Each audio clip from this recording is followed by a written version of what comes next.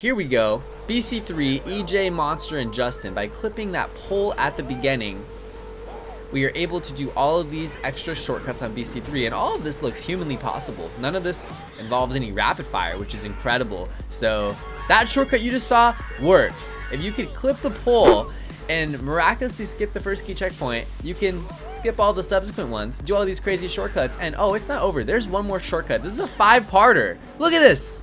Normally, these types of shortcuts do not count the lap. That skips key checkpoint, but because of this pole clip, everything you saw is possible. Now we got more super hopping. Look at this variation of the Ghost Valley 2 shortcut. Look at this. Hop, hop, hop, hop, hop. Trick, bounce, bounce, bounce, dive, wheelie, hop, hop, hop, hop.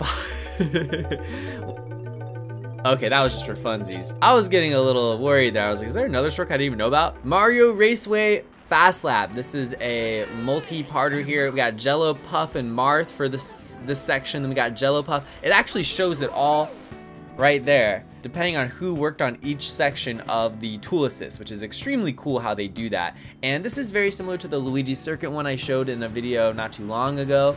This one was found before that one, back up, get the finish line, and you have to do all of that just to confuse the game. And then you have to go do this again. Yeah.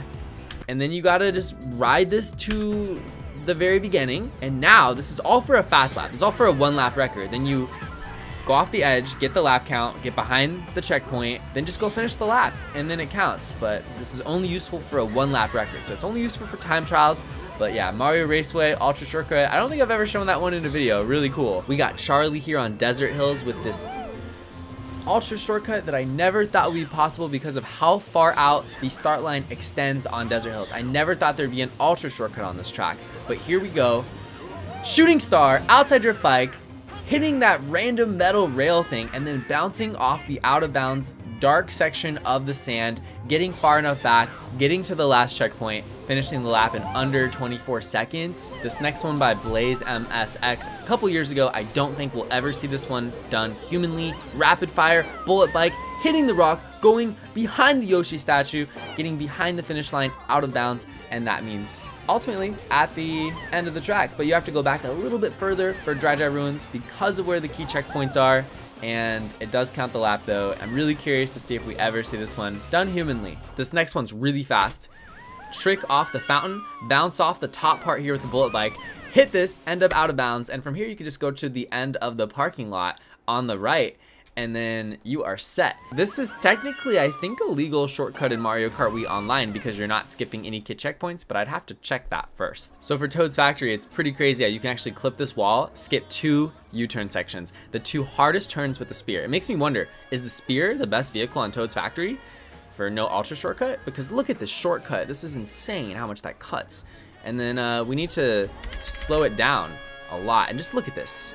I've always wondered if this was possible and now we know. Although, even though this one is humanly possible, it looks very tough.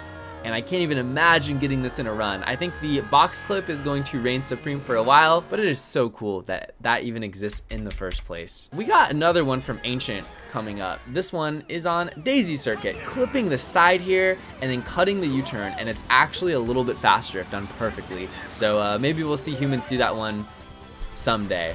And then there's another pointless one right here. I can't see this one being useful at all, but it is still really cool this exists. Pretty wild that people are discovering such insane clip glitches so late into Mario Kart Wii's history. Alright, this is one that was very legendary when it happened. Look at this, landing on top of the sign by clipping the side of the wall and now using the sign to clip it, of course, the bottom of it to skip half the track. I'm so happy Daisy Circuit has an Ultra. If it means playing less Daisy Circuit, I am here for it. And look at this. Oh my gosh. Amazing. And then look at this. Look at this. Off the tree. Skip the whole lap. It's a double parter. I remember when this video came out and I was jaw equals dropped the whole time. Definitely check this video out. I'm putting in the description. One of my favorite Mario Kart Wii tool assist videos. This last one's my favorite and the one that surprised me the most of any tool assist I've ever seen.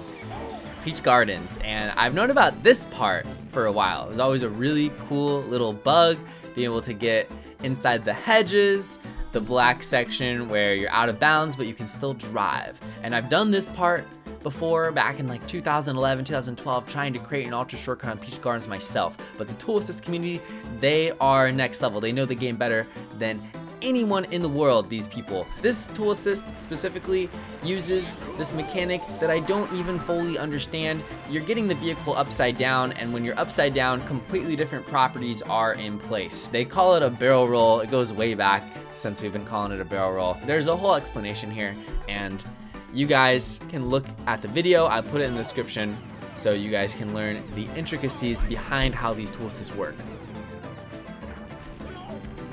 It's extremely important you're not going too fast when you're going for this shortcut. If you go too fast, you will immediately pop your bike above the ground. The bike is like halfway inside the ground right now. It's the only way that Funky Kong is not being counted out of bounds. But now from here inside the flower bed, you have to do the barrel roll. You have to wheelie over and over and over, get the bike upside down, but be very careful. The rotational speed extremely close to zero. And then right here, just getting enough, the spear is completely upside down without tipping over. And because it only cares about where your wheels are, you're able to drive around without being respawned, only in a straight line. But that is all you need as long as you're in the perfectly right spot. And this is for a fast lap shortcut, definitely never useful for a three lap record on Peach Gardens time trials. But for a fast lap, a one lap record, going upside down right here. I don't know if this is possible, guys. Humanly, I really don't think it's possible, but I have to show you guys this. This is one of the most ridiculous shortcuts ever in any Mario Kart game. Never seen anything like this. And this really opens up a whole new realm of possibilities for future Ultra shortcuts. Because the lap counted, and now Funky Kong is going backwards, going backwards, going backwards. I see Funky Kong's face just barely in the corner, and then right when you get to the spot where you know you're gonna get the respawn to get to where the last key checkpoint is, you just hop out of bounds, hang out on Peach's front porch for a little bit, wheelie down the staircase, boom, lap count, good games, pack your bags, Peach Gardens, ultra shortcut, under 23 seconds. What's gonna happen next?